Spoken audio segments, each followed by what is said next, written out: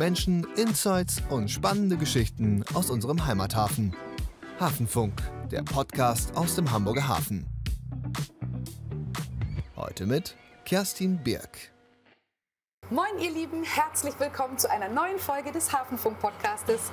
Na, könnt ihr anhand der Geräusche schon erraten, wo ich bin? Hier wird auf jeden Fall fleißig gearbeitet. Habt ihr euch schon mal gefragt, warum der Hamburger Hafen so gut in Schuss ist und wer sich darum kümmert? Ich sag's euch. Dafür sind unter anderem die Konstruktionsmechaniker verantwortlich. Die kümmern sich um Reparaturen, Wartungen oder Neubauten im Hafen. Und ich spreche heute mit Erik. Er macht aktuell eine Ausbildung bei der HPA als Konstruktionsmechaniker. Hallo Erik. Ja, hallo. Erik, wo genau befinden wir uns gerade? Ist das hier dein Arbeitsplatz? Ja, genau. Also das ist mein Arbeitsplatz hier. Wir sind hier im Standort Harburg äh, bei der HPA. Und ich habe schon beim Betreten des Geländes gesehen, hier ist eine Menge los und es gibt hier viele verschiedene Arbeitsplätze, an denen man tätig werden kann. Wie sieht denn dein Arbeitsalltag aus? Bist du hier überall unterwegs? Machst du hier alles?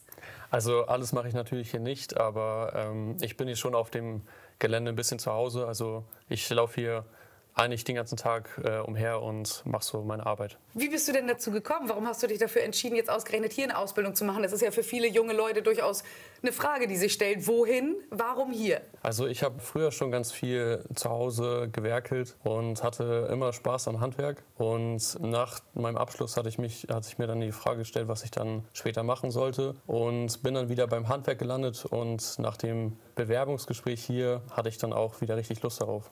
Was genau machst du denn hier die ganze Zeit? Was sind so die Aufgaben, mit denen du dich beschäftigst? Also vor allem in der Ausbildung kümmern wir uns um die Herstellung von Kleinbauteilen. Also wir kriegen meistens eine Zeichnung vorgesetzt und sollen dann aus der quasi erschließen, was wir am Ende fertigen sollen. Und dann fertigen wir quasi die einzelnen Bauteile und am Ende fügen wir die meistens dann zusammen. Jetzt stelle ich mir vor, dass das Sachen sind, die recht weit entfernt sind von dem, was man normalerweise so macht. Ist das alles neu für dich? Lernst du hier quasi jeden Tag alles neu? Ein Stück weit lernt man natürlich jeden Tag irgendwas mit, vor allem in der Ausbildung. Aber ich finde schon, dass ich dann jeden Tag daran anknüpfen kann, was ich letzten Tag gelernt habe und dass ich dann Fortschritte mache. Woher kommt denn deine Begeisterung für das Handwerken und für das Sachenfertigen? Also ich habe früher schon viel Spaß daran gehabt, Dinge zu fertigen und vor allem sich anzuschauen, was man so zur Verfügung hat und dann Sachen für den Alltag zu bauen. Und das finde ich auch hier so interessant, dass wir mit verschiedensten Bauteilen irgendwie zu tun haben, die wir fertigen und ist irgendwie immer was Neues dabei. Es gibt, glaube ich, nichts Schöneres, als das Gefühl zu haben, okay, ich glaube, ich habe den richtigen Weg eingeschlagen. Ähm, in welchem Ausbildungsjahr bist du denn? Wie weit bist du denn auf dem Weg? Also ich bin äh, zurzeit im ersten Ausbildungsjahr. Bald äh, schlägt schon das zweite Ausbildungsjahr an. Ich habe noch einen langen Weg vor mir. Also vor allem da viele sagen, dass man erst nach der Ausbildung wirklich ähm, in diesem Beruf was lernt. Ich habe bis jetzt schon sehr viel gelernt, habe ich das Gefühl, aber ähm, ja, ich habe, denke ich mal, noch einen langen Weg vor mir. Ähm, Erik, ich habe das schon mal so ein bisschen angeschnitten, aber du weißt es natürlich sehr viel besser. Äh, was sind denn eigentlich die Aufgaben eines Konstruktionsmechanikers? Also die Aufgaben eines Konstruktionsmechanikers sind sehr vielseitig. Einerseits natürlich das Fertigen von Baugruppen. Also als Konstruktionsmechaniker kriegt man quasi vom Bauingenieur eine Zeichnung vorgesetzt oder vom Bauzeichner. Und wir müssen dann diese Zeichnung fertigen. Also wir gucken uns dann an, was genau für Materialien wir brauchen oder wie wir das Ganze jetzt zusammenführen. Das ist auch eigentlich immer angegeben. Und als Konstruktionsmechaniker kann man natürlich auch, je nachdem, wo man eingesetzt ist, vielseitige andere Aufgaben erledigen. Also wir sind natürlich auch sehr breit gefächert, geschult. Das heißt, Dinge, die vorher nur auf dem Papier existieren, bringt ihr dann tatsächlich mhm. so, dass man sie anfassen kann? Ja. Wo genau kann man euch denn bei der Arbeit sehen? Wo sind Konstruktionsmechaniker eingesetzt? Also natürlich sind wir hier am Standort, vor allem in der Werkstatt. Also Konstruktionsmechaniker können sowohl in der Werkstatt als auch draußen arbeiten auf Montage, weil die Brücken oder die Sachen, die wir hier fertigen müssen, natürlich dann auch eingebaut werden. Ist das ein neuer Beruf? Also der Konstruktionsmechaniker ist quasi ein neuartiger Beruf, der jetzt den Beruf des Schlossers ablöst und vielseitigere Aufgaben auch noch erfüllt. Erik, vielleicht einmal für das grundlegende Verständnis, wie ist die Ausbildung aufgebaut? Was lernt man wann? Also am Anfang der Ausbildung haben wir zum Beispiel gestartet mit der manuellen Werkstoffbearbeitung. Da lernt man so die groben Basics, wie man feilt, wie man sägt, wie man bohrt. Und äh, das ist alles noch sehr neu für einen. Deshalb kriegt man dafür auch äh, sehr viel Zeit am Anfang. Und danach geht es so in die Basics vom Schweißen meistens. Also in jedem Betrieb äh, startet man mit einem unterschiedlichen Schweißverfahren. Bei mir war es zum Beispiel das äh, Wigschweißen. Und dann lernt man halt die Basics, was überhaupt eine richtige Schweißnaht ausmacht. Weißt du auch schon, was sich dann im zweiten Lehrjahr erwarten wird, das jetzt ja demnächst anfängt oder womöglich sogar schon im dritten? Also im zweiten Lehrjahr geht es vor allem darum, dass man die Ausbildungsinhalte vertieft. Also vor allem beim Schweißen braucht man viel Übung, viel Praxis, damit man wirklich dieses Verfahren verfeinern kann. Und dann stehen natürlich auch schon Prüfungen an. Und ich nehme an, du lernst sowohl hier als auch in einer Berufsschule? Ja, genau. Also bei uns äh, sind wir zum Beispiel im Blogunterricht aufgestellt. Also alle paar Monate sind wir dann in der Berufsschule und müssen da natürlich dann auch Ausbildungsinhalte in der Berufsschule lernen. Und das wird auch vorausgesetzt, dass wir die dann gelernt haben. Mhm. Und äh, die Ausbilder gucken natürlich auch, ob wir dann in der Berufsschule gute Noten haben und wie wir da aufgestellt sind. Was gefällt dir besser? Ich bin tatsächlich ein Verfechter von beides ist gut. Mhm. Also ich habe auch Spaß in der Berufsschule und ich freue mich auch, wenn wir zum Beispiel in der Berufsschule Ausbildungsinhalte kennenlernen, die wir sonst in der Praxis nicht so oft anwenden, die vielleicht ein bisschen exotisch quasi sind und freue mich dann auch ein bisschen an Theorie. So, und heute ist ein ganz normaler Arbeitstag für dich. Das heißt, du hast Arbeit zu tun. Was ist äh, das aktuelle Projekt jetzt? Was liegt an? Ja, das Schweißen. Okay, ähm, darf ich dabei bleiben? Darf ich zugucken? Klar, würde ich mich freuen. Okay.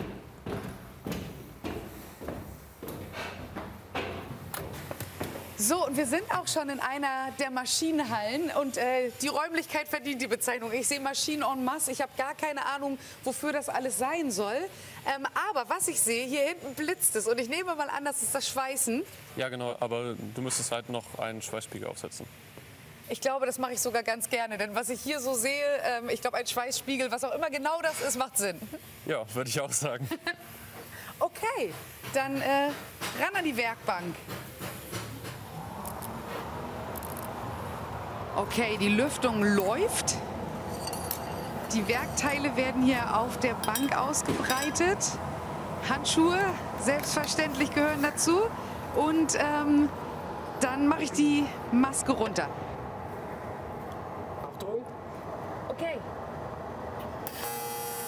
Okay, auf jeden Fall ein ganz besonderes Geräusch. Und ich, oh, jetzt rieche ich auch was. Und so eine Naht zieht sich doch recht schnell, muss man sagen. Jawohl, war's das? Ja. ja? Bist du fertig?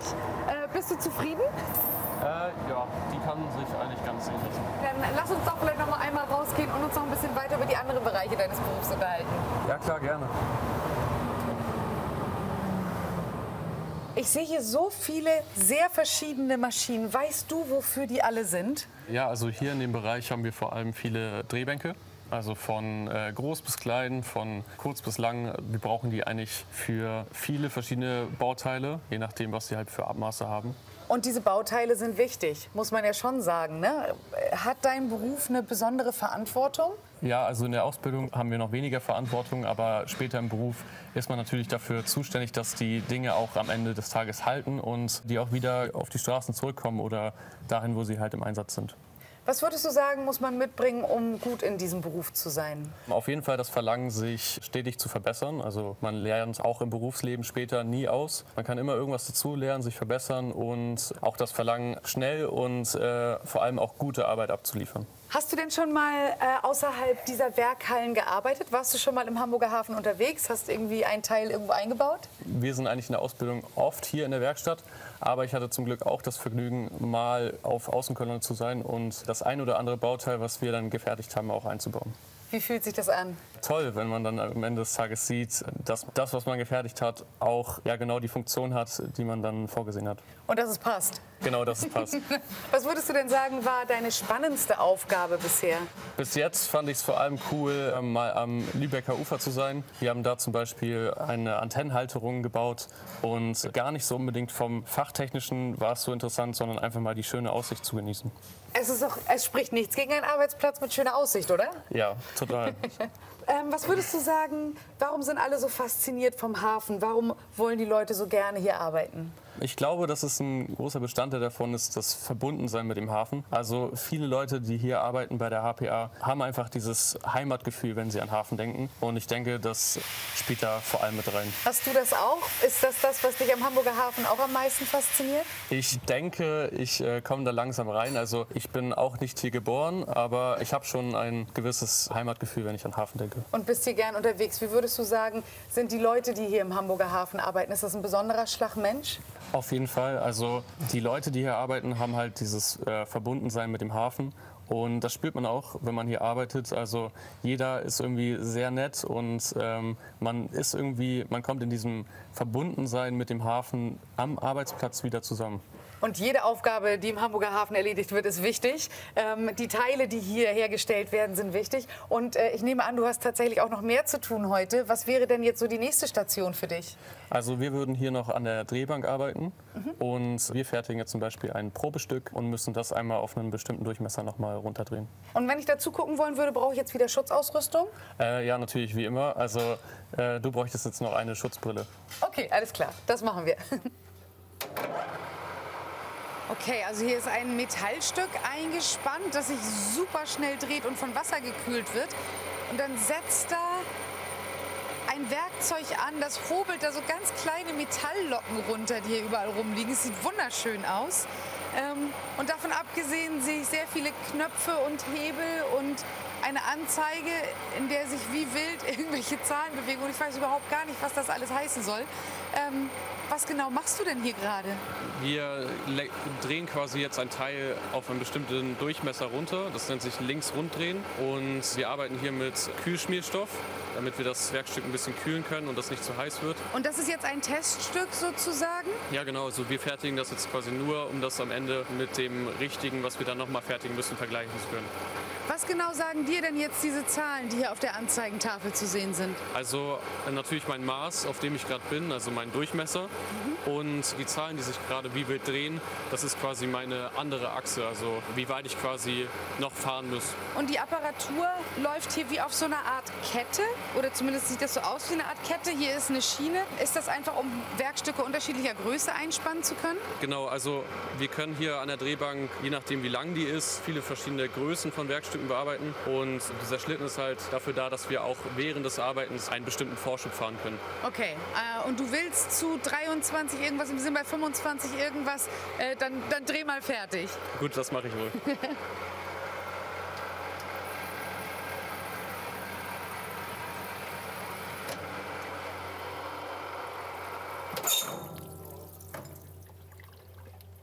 So, und ein weiteres Werkstück ist fertig. Und ich habe dich gerade so ein bisschen beobachtet.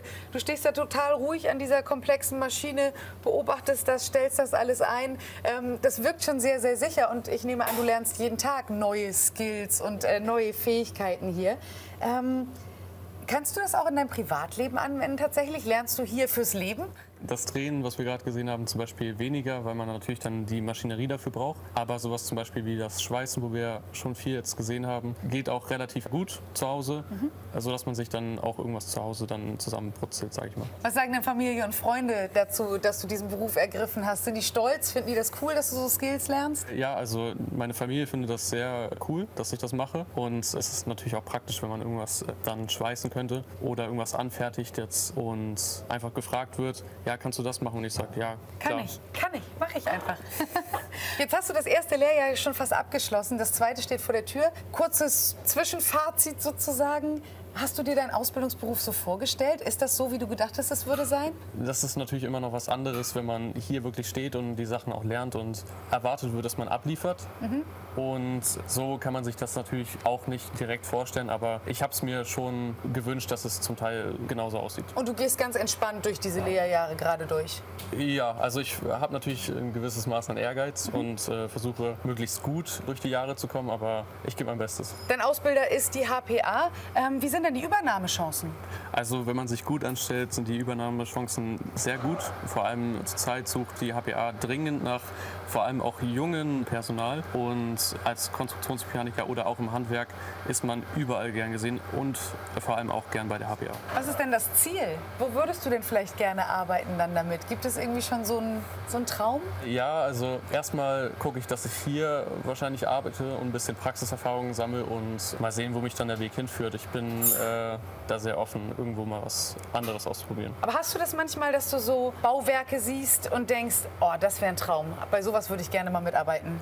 Allein schon, wenn ich irgendwie durch den Hafen fahre und die ganzen Brücken sehe und dann sehe, wie riesig die sind teilweise, äh, ist es natürlich schon cool, wenn man sich überlegt, ja, da könnte ich mal irgendwie die ein oder andere Schweißnaht oder das ein oder andere Glied dazu liefern. Ja, vielleicht so die neue Kölbrandbrücke oder sowas, hm? Äh, ja, also so ambitioniert will ich erstmal noch nicht denken, aber ja, genau. Okay, ähm, es ist ja auch ein Weg, ne? man, man geht ja Schritt für Schritt.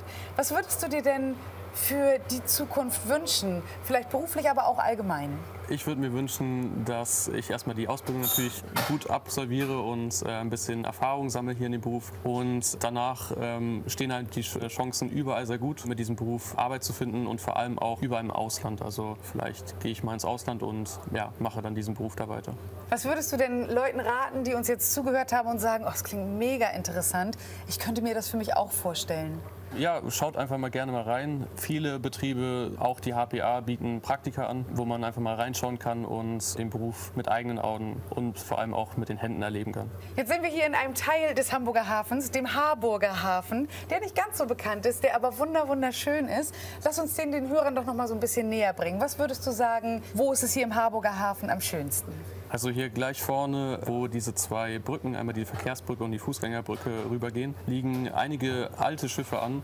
Und es ist sehr schön, sich da einfach mal hinzusetzen und ein bisschen den Harburger Hafen auf sich wirken zu lassen. Wundervoll. Dann habe ich dich jetzt lange genug aufgehalten. Ähm, die Arbeit muss ja irgendwie gemacht werden. Ich bedanke mich so herzlich für diesen Einblick in diesen total interessanten und wichtigen Beruf. Und ich wünsche dir alles Gute. Ja, vielen Dank. Freue mich auch.